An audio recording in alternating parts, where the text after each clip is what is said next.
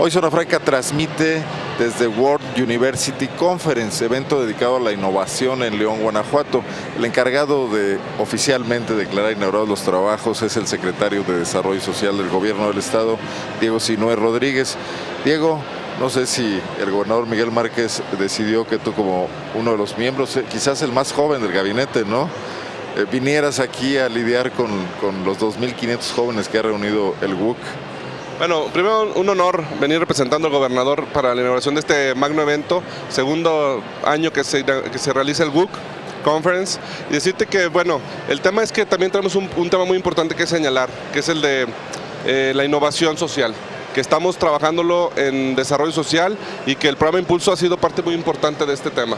Tú estás por inaugurar, estamos haciendo esta entrevista previo al arranque y me gustaría mucho saber qué le vas a decir a los jóvenes, cuál va a ser el mensaje ante este Mira, auditorio. Yo voy a explicar un poco lo que hicimos a través del programa Impulso Social en tema de innovación social, porque eh, cómo logramos a través del uso de herramientas tecnológicas, de la georreferenciación, de las tabletas electrónicas, de, un, de una plataforma que desarrollamos, crear un diagnóstico muy preciso que nos permite focalizar los recursos y los apoyos, pero sobre todo la articulación de un programa social a través de la innovación tecnológica. Es un poco lo que les vengo a platicar, pero sobre todo a dejarles un mensaje de la importancia de que los jóvenes estén en el tema de la innovación, del emprendedurismo, que hoy Guanajuato lo que requiere son jóvenes que tengan esa visión global y que nos ayuden a que el Estado tenga soluciones en todos los ámbitos, no solo eh, de la empresa privada, también en gobierno se, existe innovación, se requiere que la innovación llegue a todos los programas, no solo sociales, a todos los programas gubernamentales, pero un tema muy especial que hoy toca el GUC es el tema de innovación social.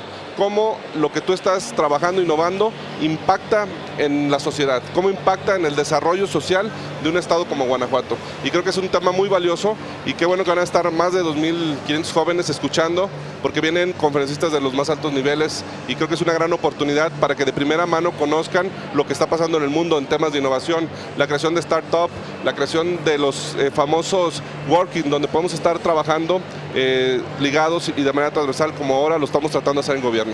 ¿Sientes que la sinergia que tiene Guanajuato, donde estamos cambiando la vocación original del Estado o la que por muchos años privó industrias artesanales, agricultura, una fuertísima migración, ¿no?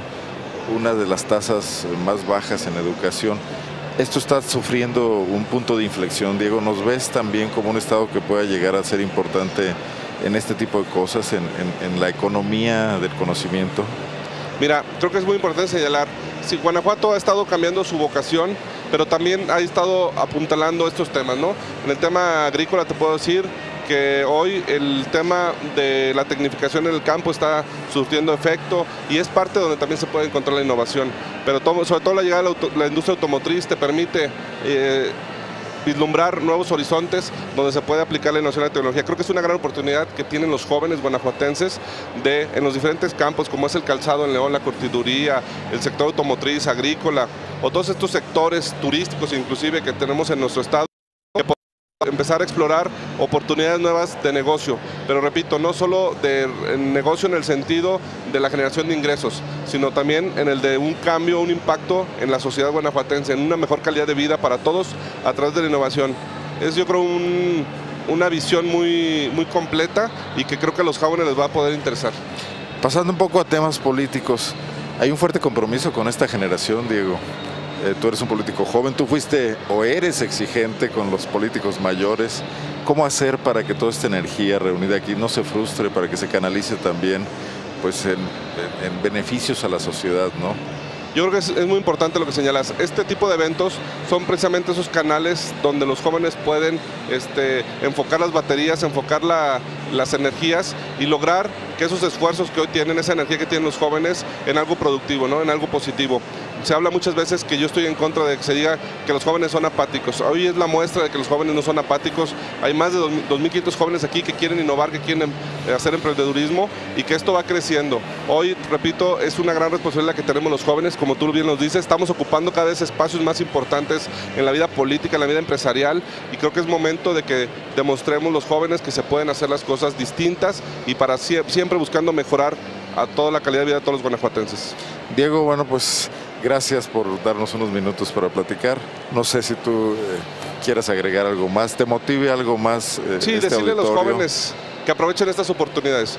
Son oportunidades muy buenas del más alto nivel aquí en su, ciudad de León, aquí en el estado de Guanajuato, y que tienen la oportunidad de venir y visitar y conocer todo un proceso de cómo se arranca una empresa, ¿no? de cómo se empieza desde la idea, la, se empieza a incubar. Aquí hay empresas que los pueden eh, orientar en cómo financiar, en cómo lograr articularse con otras empresas, cómo crear una nueva idea. Hay una especie de hackathon, hay una serie de, de conceptos muy interesantes y que están a la mano de los jóvenes. ¿no? Vale mucho la pena y ojalá que los esperamos aquí. Creo que es, es importante que estos eventos se apoyen y sobre todo que los jóvenes los conozcan sobre todo cómo, cómo hacer que las cosas pasen y ver que nada es imposible, creo. Así es, y agradecerte a ti que tengas también como medio de comunicación la, oportunidad de difundir a los jóvenes estas, estas realidades que hoy, que hoy tenemos ¿no? aquí en Guanajuato.